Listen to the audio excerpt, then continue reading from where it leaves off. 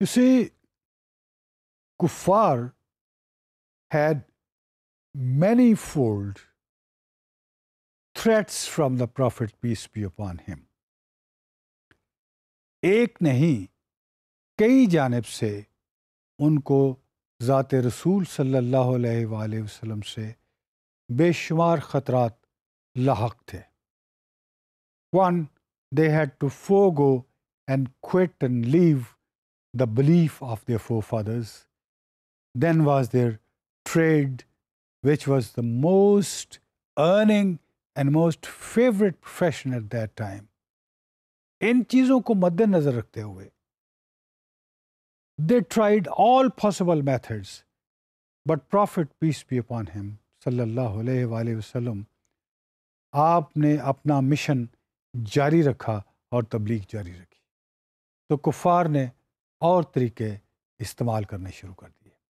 آخر کار، انہوں نے دار الندوہ یا دار الشورا عربی میں جس کو کہتے ہیں، یوں سمجھ لیجیے جیسے گاؤں میں دائرہ ہوتا ہے جہاں بہت سارے لوگ بیٹھ کے ایک برادری کی یا قبیلے کی یا قبیلوں کی میٹنگ کرتے ہیں اور فیصلے کرتے ہیں۔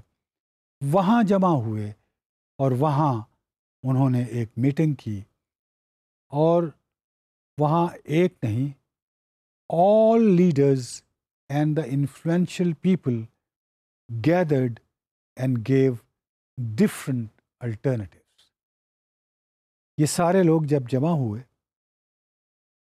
تو حضور صلی اللہ علیہ وآلہ وسلم کی جان مبارک کو جو خدشات تھے ان کو پورا کرنے کے لیے انہوں نے بہت سارے مشورہ جات دیے۔ کسی نے کچھ کہا کسی نے کچھ کہا کسی نے کچھ کہا۔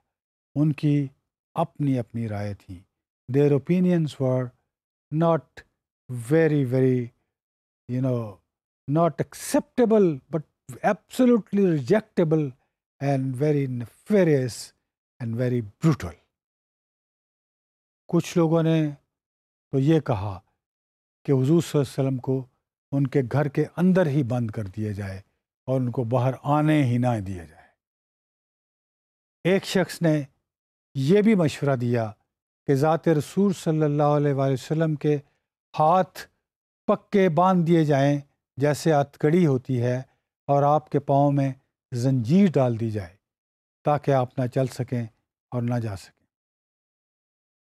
اب ان میں ایک شخص ایسا بھی تھا جو سب سے بڑا دشمن بھی ہے اور سب سے بڑی چالیں بھی چلتا ہے، اور وہ تھا ابو جہل۔ ابو جہل نے جو مشورہ دیا آخر کار پھر اسی پہ ہی بعد میں مستقبل میں عمل ہونا تھا۔ اس نے کہا کہ اس طرح کیا جائے کہ ہر قبیلے میں سے ایک آدمی منتخب کیا جائے۔ اس کے پاس تلوار بھی ہو۔ اس کے پاس دوسرے ہتھیار بھی ہوں۔ اس کے پاس ہر وہ چیز جو ذات رسول صلی اللہ علیہ وسلم کو کسی نہ کسی لحاظ سے ان کی زندگی ختم کر سکتی ہے، وہ موجود ہو۔ اور یوں سارے بیٹھ کے ایک طریقہ کار، ایک اسٹریٹجی ایوالو کریں گے کہ ہم آپ صلی اللہ علیہ وسلم کی جان کیسے لے سکتے ہیں۔ اور چونکہ یہ سارے قبائل کی نمائندگی ہوگی، تو بنو ہاشم سارے قبائل سے کسی قسم کا کوئی بدلہ نہیں لے سکے گا۔ ایک قبیلہ اتنے سارے قبیلوں سے کس طرح سے ذات رسول صلی اللہ علیہ وسلم کی جان لینے کا بدلہ لے سکے گا؟ یہ ان کی خوریزی کی سوچ کی انتہا ہے۔